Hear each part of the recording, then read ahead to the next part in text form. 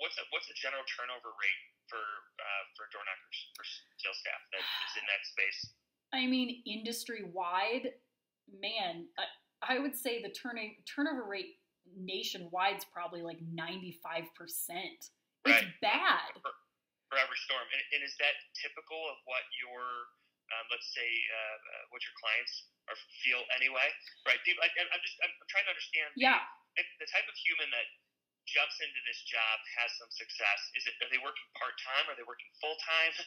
Are, are they working once? Are they working one storm? Storm's gone. They just go find another job. No, You know what's what's the mentality there? So it depends, I guess, on the infrastructure of the company. Because if, if you're a company that comes into Wilmington and says we're setting up shop here for a year, and then next year, if there's no storm, we're leaving, that's a totally different ballpark.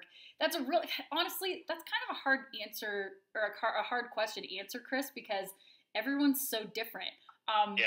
On average, like, here's the thing people quit and they turn over because they're having a bad experience and they're not getting paid and they're not getting paid because they're having a bad experience. So like the turnover rate in the industry is so ridiculously high because there most companies don't have the tools to keep their guys. You keep people when they can figure out the job quickly and because they can do it quickly, they're having a good experience and because they're having a good experience that means they're making money at it.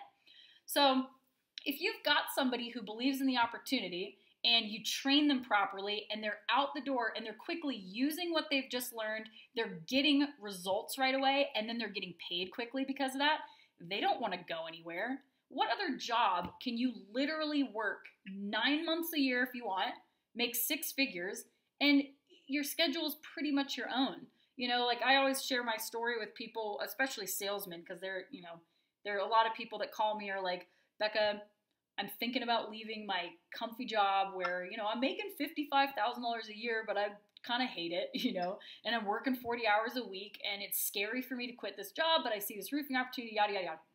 And I share with people, you know, my first year that I worked, I worked for four months. I did July, August, September, October. I left on November 2nd. And in four months, I sold 650,000 and I brought home 105. Like, where else can you do that as somebody without a degree, you know, without any any previous experience doing it whatsoever? And then the second year, I worked for eight months and I did like 1.25 million, and I brought home 240.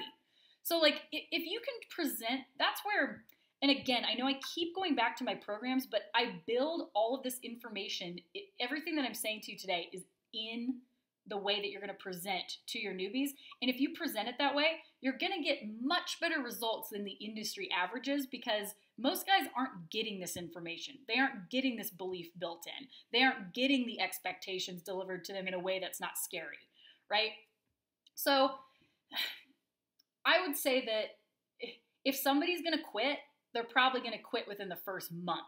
If you can get somebody to stick around longer than that and they've got the right training and they're being managed the right way by your sales manager, they're going to stick around because they're going to make good money in way less time than they can make anywhere else for the average person.